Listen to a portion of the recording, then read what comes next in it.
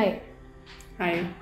Uh, so, can you tell me a bit about what you've studied uh, and where you work?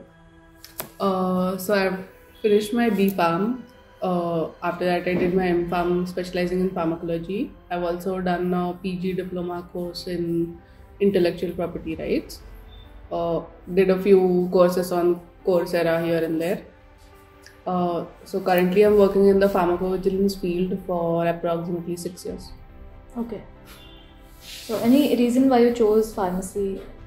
Uh, not really. I from the beginning I knew I wanted to work in the medical field, but I didn't want to become a doctor. So I explored a few paramedical fields, and pharmacy seemed like the best choice. Okay.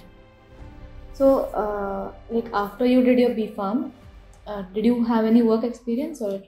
Yeah. So after I did my B Pharm, I wanted to pursue MS in US or overseas. So I uh, did an internship with uh, Serum Institute of India for about a year, and uh, after that I did apply for a for my masters. I gave my GRE. I applied for masters. I didn't get a scholarship, however, so I didn't really want to put in so much money, take a loan. So I opted for MPharm uh, in India. Okay. And like, what are the different exams or tests that one has to go through uh, to do B Pharm or M Pharm in India? Right. So usually, uh, one centralized test for MPharm would be a GPAT, and uh, a lot of universities have their own entrance tests. So for me personally, uh, I didn't give any centralized exams, which a lot of people find very weird.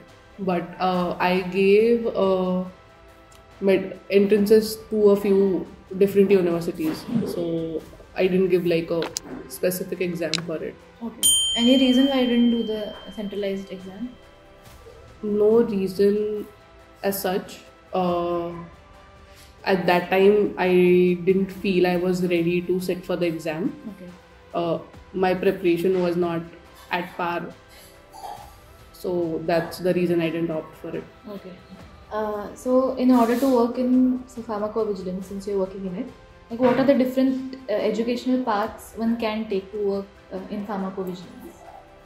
Uh, so usually for any field you within pharmacy you want to work for except uh, unless you have a business a lot of people want you to at least have a master's degree so same for pharmacovigilance they prefer masters uh, very few uh, companies would uh, opt BPharm candidates but they're, they're very few so a majority of the universities would want you to have an MPharm. A majority of the companies would want you to have a MPharm degree. Okay. So, say for example, if a person has done just D Pharm, then they would probably not get a job in. Uh, Probably not. Pharm D you would, but not with BPharm. okay. What's the difference between the two? So BPharm is a diploma course. You don't get a like a proper bachelor's or a master's degree. On the other hand, Pharm D is like a doctorate of pharmacy. So Oh. it's like a step above BPharm, but not somewhere between BPharm and MPharm.